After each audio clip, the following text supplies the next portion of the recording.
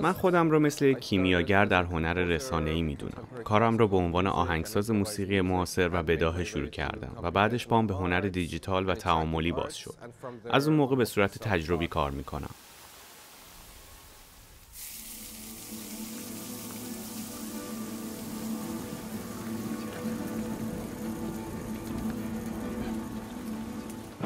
I started researching how everyday objects and everyday gestures could be packed with potential for شروع کردم به کار کردن روی اشیا و حرکات زندگی روزمره و اینکه چطور میشه از اونا صدا تولید کرد.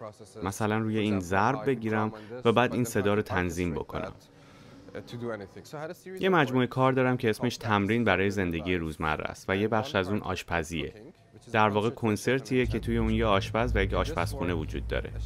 توی این کار یه آشپز که در واقع اجراگر حرفه‌ایه روی صحنه مشغول پختن غذای واقعیه که بعد از اجرا تماشاچی‌ها می‌تونن امتحانش کنن. همونطور که مشغول کاره تمام فرایند آشپزی، حرکات و استفاده از مواد غذایی تبدیل به اجرای موسیقیایی موزونی میشه که من طراحی کردم. از اونجا که کارهای من انسان محور نیستند سقوط یک هویج روی میز یا جزو کردن روغن روی اجاق به اندازه بازیگر انسان نقش اصلی رو بازی می‌کنه این در واقع نکته اصلی اکثر کارهای منه.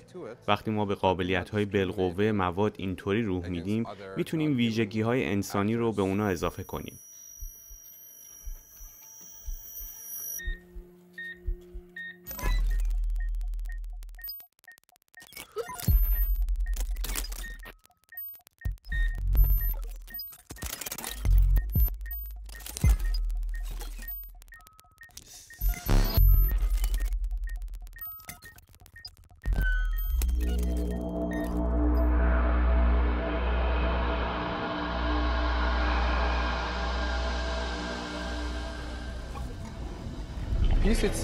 این میز آشپزخونه پر از سنسورهای مختلفه. طوری که هر لرزش یا حرکتی که آشپز با مواد غذایی انجام میده رو تبدیل به داده می‌کنه. این داده ها به کمک نرم افزارهای هوش مصنوعی و الگوریتم های تشخیص حرکت تبدیل به صداهایی میشن که میشنویم.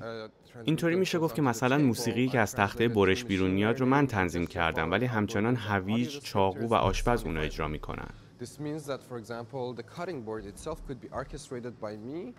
Yet performed by the carrot, the knife, and the chef.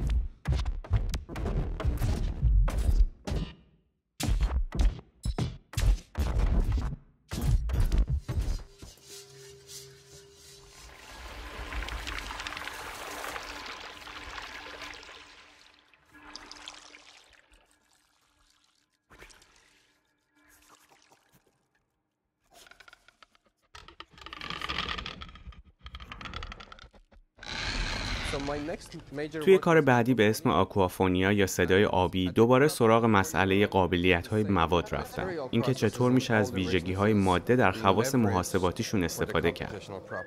توی این کار از یه دستگاه ضبط صدا استفاده کردم که 100 سال پیش توسط ادیسون اختراع شده. با این دستگاه صدا رو در نقطه‌ای متمرکز می‌کردن و با استفاده از انرژی آکوستیک روی یک صفحه شمعی حک می‌کردن.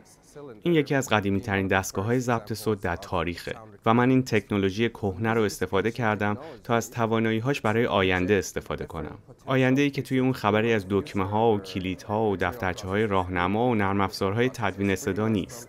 آینده ای که توی اون صدای شما می‌تونه تبدیل به مایه بشه.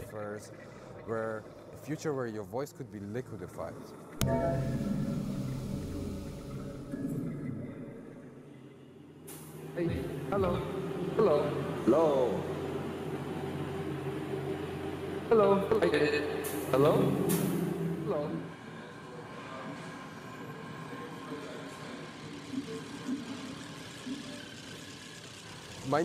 یکی از کارهای جدیدم دو سال پیش به صورت خیلی اتفاقی شروع شد.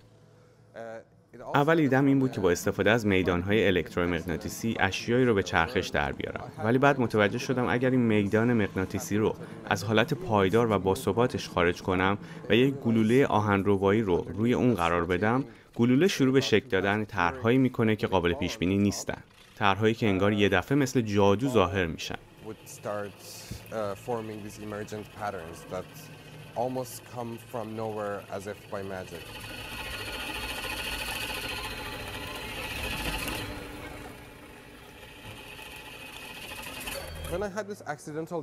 دلیل علمی این کشف تصادفی رو نمی‌دونستم و به همین دلیل رفتم سراغ تحقیق در مورد فیزیک این پدیده.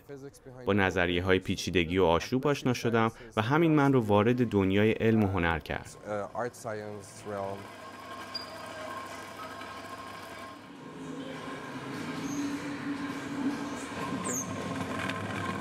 When چیزی که جالبه اینه که وقتی که بستر کارهایی که انجام میدم با ثبات و پایدار باشه حرکت ها خیلی یک نواخت و قابل پیش بینی تقریبا شبیه یه دایره.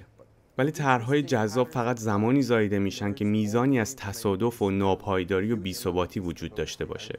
این باعث میشه که آدم فکر کنه که چطور کائنات و نیروهای مختلف زندگی آفرینش و هستی رو به دایه پردازی می‌کنن.